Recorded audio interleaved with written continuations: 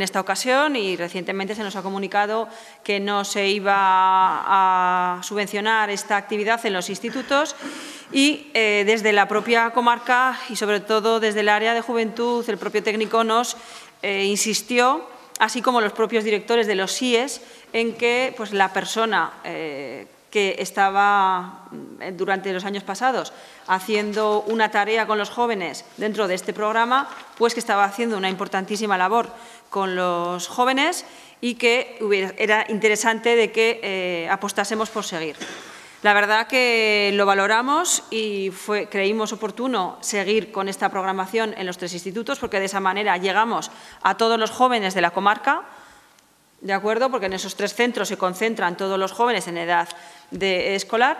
y eh, bueno, pues creímos oportuno apostar y hacernos cargo directamente la institución comarcal de la contratación de esa monitora de tiempo libre para estar en los tres institutos. De esta manera, son 27 horas las que vamos a contratar a esta persona. Hoy mismo empezaba y va a estar nueve horas semanales en cada uno de los institutos.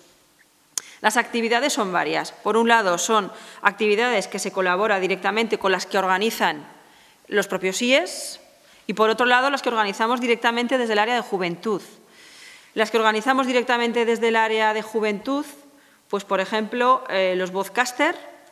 que son eh, programas de radio, es un taller, mejor dicho, es un taller de radio con jóvenes bajo aragoneses que eh, está teniendo unos resultados impresionantes, que están trabajando y además están muy ilusionados en poder continuar y ese fue también uno de los motivos que nos impulsó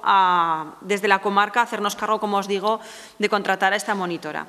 a pesar de no contar con la ayuda del Gobierno de Aragón. Por otro lado, eh, los institutos también están trabajando en huertos, eh, huertos urbanos, perdón, perdón por el lapsus, huertos urbanos y esta trabajadora eh, animadora también eh, estará con ellos eh, trabajando y colaborando en esas tareas. Aparte, sobre todo, y la programación más importante va a ser la de sensibilizar a los jóvenes bajo aragoneses en el voluntariado. Es importante seguir trabajando con ellos, como se ha venido haciendo estos años, en em, fomentar ese espíritu de voluntarios para poder participar en las diferentes actividades a través de asociaciones o de los propios institutos o centros escolares, en diferentes programas que eh, se nutren de esas personas voluntarias y, por lo tanto, esa va a ser una parte importante del trabajo de esa monitora de tiempo libre que va a estar en los SIES trabajando con los jóvenes. Directamente por parte de la comarca, como os digo, programa de voluntariado y el taller de radio. Y después todo lo que se nos demande de los propios centros en las actividades que ellos tengan programadas.